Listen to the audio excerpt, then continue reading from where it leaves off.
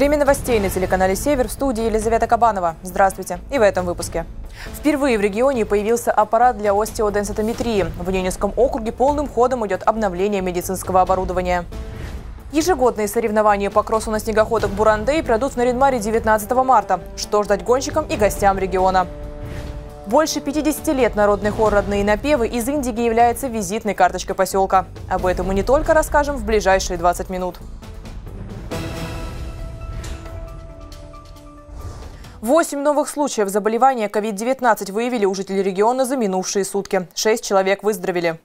По информации Департамента здравоохранения, труда и социальной защиты населения, в настоящее время на лечении с диагнозом COVID-19 подтвержденным результатами ПЦР-лаборатории уровня референс находится 200 человек. Из них стационарное лечение получает 14 человек, амбулаторное – 186. Напоминаем, в Ненецком автономном округе действует режим повышенной готовности – обязательный масочный режим. Постановление главного государственного санитарного врача ПАНАУ об обязательной вакцинации отдельных категорий граждан по эпидемическим показаниям. Задать вопросы Вопросы, связанные с COVID-19, можно на региональную горячую линию по коронавирусу по короткому номеру 122. В учреждениях Енинского округа продолжается плановое обновление медицинского оборудования в рамках национального проекта здравоохранения. Так, в рентгенологическом отделении Ненецкой окружной больницы установили аппарат для остеоденстометрии, а в поликлинике Заполярного района новый маммограф. Александра Литкова расскажет подробнее. Остеоденситометрия – это количественное измерение кортикальной и губчатой кости при помощи компьютерной томографии. Данный метод лежит в основе диагностики остеопороза. Остеопороз, компрессионные э, переломы позвоночника на фоне остеопороза. Вторичный остеопороз есть при некоторых заболеваниях, вымывается костная ткань из э, скелета. Оборудование для исследования плотности кости появилось в Нарьинмаре впервые. Ранее подобную диагностику жители округа могли получить только за пределами региона. Обследовать можно как все тело, так и отдельные его части. Пациент укладывается на стол. Э, в различных укладках, соответственно, области исследования. Э, управление аппаратом идет с пульта за ширмой рентгенозащитной, который расположен, и сотрудник тоже находится там, потому что это все-таки ионизирующее излучение, необходима защита. И э, вот эта вот дуга аппарата, она начинает двигаться и потихонечку сканировать необходимые там, части скелета. Готовность медицинского учреждения к запуску нового оборудования проверил губернатор Ненецкого округа Юрий Бездудный. С возрастом у людей э, вымывается кальций, кости становятся ломкими. И все эти пациенты до сегодняшнего дня вынуждены были э, улетать и проводить эти исследования в других городах. С сегодняшнего дня эти исследования будем делать у нас, в округе, ну и, разумеется, лечить. Центральной поликлинике Заполярного района установлен новый маммограф. Аппарат представляет собой рентгеновскую установку, при помощи которой проводят исследование молочной железы в профилактических целях для своевременного обнаружения опухолей. Это исследование относится к одному из золотых стандартов исследований и заболеваний, особенно онкологических заболеваний э, молочной железы у женщин.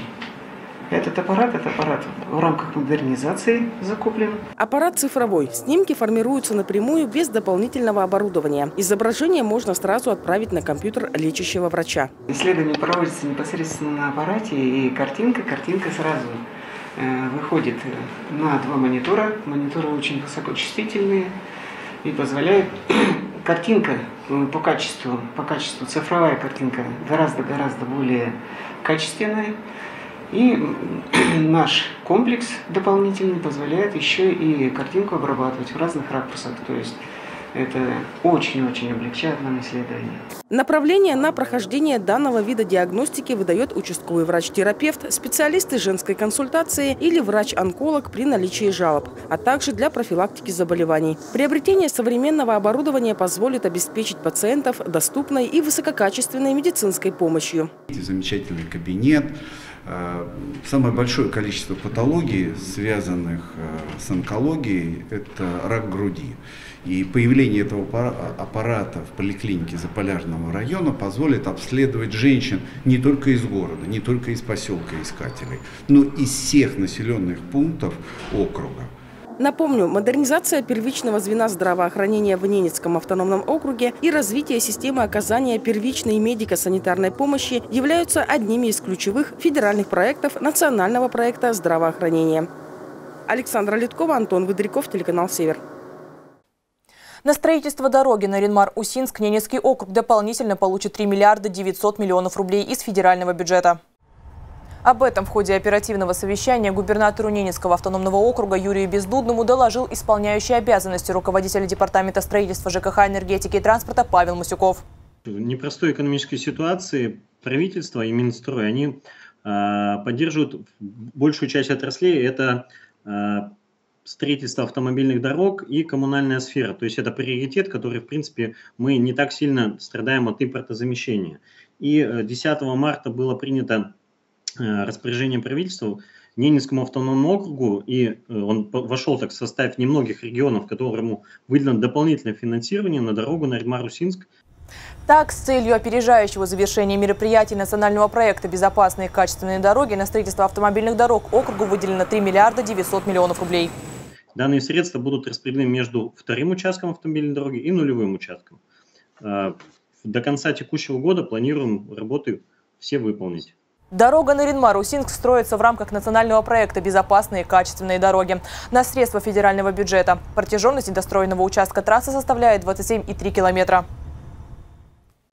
Сложности с поставками из-за рубежа не повлияют на окружных производителей. Вопросы импортозамещения обсудили и на совещании в Департаменте природных ресурсов экологии и агропромышленного комплекса с представителями местных производителей. Подробности в следующем сюжете. По словам руководителей окружных предприятий, производство хлеба, мясных полуфабрикатов и сельскохозяйственной продукции останется на прежнем уровне. Единственная сложность, с которой может столкнуться сфера производства – это фасовка товара. Часть упаковки привозят из других стран. Но мы понимаем то, что в состав производства, вот как возьмем агропромышленный сектор, в частности, не нашу Ненецкую агропромышленную компанию, понимаем то, что составные части, это упаковка, пленки, э, все это может привести к удорожанию. Э, мы должны работать с этими поставщиками, должны понимать, где их можно заместить на отечественные аналоги. Товарам первой необходимости, которые производили иностранные компании, будут искать аналоги на российском рынке.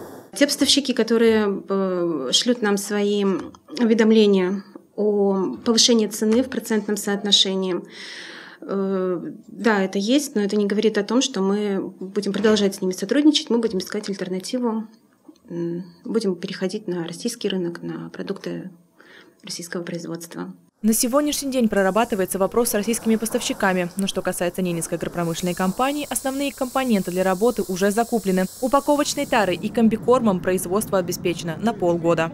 Небольшие проблемы у нас есть по закупке э, запчастей к сельскохозяйственной технике, потому что у нас она в основном итальянского и польского производства. Но как бы этот вопрос, вот, мы считаем, что вот на этой неделе был решен, поэтому какая-то часть проплачена, Какая-то часть будет закупаться до конца марта, но с этой задачей мы справимся. По словам Анатолия Чудочина, запчасти оплатили еще в начале года. Они были в наличии у поставщиков в Перми и Кирове. Тракторные запчасти закупаются в Белоруссии. В этом году были куплены в лизинг два новых пресса. Что касается подготовки к синокосу, то она начнется уже через месяц. Вся сырьевая база, технологии, они в стране имеются с историческим еще э, периодов. И это для наших предпринимателей очень хорошая, э, это хорошая существенная возможность возможность для того, чтобы за этот период, когда были введены санкции, отработать технологии, наладить это производство. Э, то есть э, ниши целые высвобождаются, при этом спрос э, остается. По словам Альберта Чебдарова, в краткосрочной перспективе в стране появится много новых отечественных предприятий. Что касается Ненецкого округа, то он полностью обеспечен своим производством мясной и молочной продукции. В регионе функционирует тепличное хозяйство. Это позволит обеспечить продовольственную безопасность. Елизавета Кабанова, Василий Хатанзейский, Владислав Носкин, Дмитрий Лукевич. Телеканал «Север». Лыжник из Ненецкого автономного округа, двукратный бронзовый призер Олимпийских игр Александр Терентьев выиграл малый хрустальный глобус. В молодежном зачете Кубка мира среди спортсменов до 23 лет. Это еще одна победа нашего земляка. Российский лыжник набрал 330 очков, опередив своего ближайшего преследователя немца Фридриха Моха на 117 очков. Третье место в зачете занял швед Вильям Парома. Терентьев одержал победу, несмотря на пропуск двух последних этапов Кубка мира в Норвегии из-за отстранения российских лыжников. Также спортсмен пропустил ряд стартов в январе из-за травмы. 22-летний Александр Терентьев дебютировал на Кубке мира только в нынешнем сезоне. Свою первую победу лыжник одержал в дебютной гонке в спринте классическим стилем на этапе в финской руке. Также на счету Терентьева еще одна медаль – серебро эстафеты в норвежском Лилинхаммере. В молодежном зачете на Кубке мира впервые в истории России победил россиянин. В России отмечается высокий уровень заболеваемости и смертности от колоректального рака. Что касается Ненецкого округа, то здесь рак толстой кишки занимает третье место среди мужского населения и первое место у женщин. Как предупредить болезнь, а также о способах лечения, расскажет моя коллега Наталья Дуркина. Все силы эндоскопического сообщества направлены на то, чтобы выявить рак на ранней стадии, а также предопухолевых состояний. Рак толстой кишки – это тот тип заболевания, который развивается из доброкачественных образований достаточно длительно. Предупредить болезнь поможет именно скрининговая колоноскопия. Проходит она у нас э, без наркоза, при особом, скажем так, пожелании или Э, страхи пациента. Можно, конечно, организовать это и под наркозом, но это немного сложно пока в наших условиях, потому что э, в данном кабинете у нас нет пока подвода кислорода. А, но в целом сейчас э, техника колоноскопии изменилась, поэтому не очень болезненно проходит по времени тоже в зависимости от подготовки пациента, во-первых, и во-вторых, от того, что у него находится на колоноскопии. Это может занимать от 30 э, минут, ну, где-то до часа. Колоноскопия проводится только в том случае, если есть положительный тест на скрытую кровь. Проведение этого теста обязательно показано людям, достигшим 40-летнего возраста. Также, если есть генетическая предрасположенность, то есть кто-либо из родственников болел раком толстой кишки, необходимо проводить колоноскопию в целях профилактики, не дожидаясь 40 лет. Лечение раковых образований – это, конечно, прерогатива онкологических клиник. А если это крупное уже образование, то, естественно, там выполняются большие операции по иссечению э, какого-то объема кишки. А вот в зависимости от пораженного э, участка опухоли. Если же это небольшое э, онкологическое образование на первой стадии рак инситу, то возможно его эндоскопическое удаление. То есть ну, либо прямо во время операции, но чаще всего все-таки это в стационарных условиях делается, потому что необходимо до обследования. И из просвета кишки э, возможно удалить эту опухоль, ну, скажем так, не заходя в живот. Как подготовиться к колоноскопии, чтобы специалисты смогли точно увидеть картину пациента? Необходимо точно придерживаться диеты, а также принимать препараты, которые пропишет врач.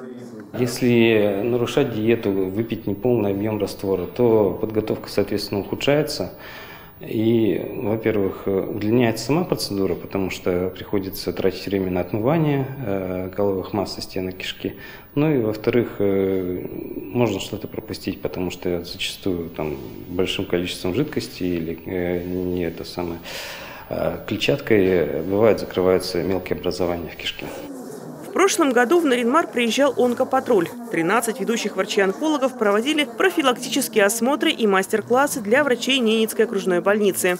Провели несколько операций вместе э, с эндоскопистом, который приезжал в составе э, онкопатруля.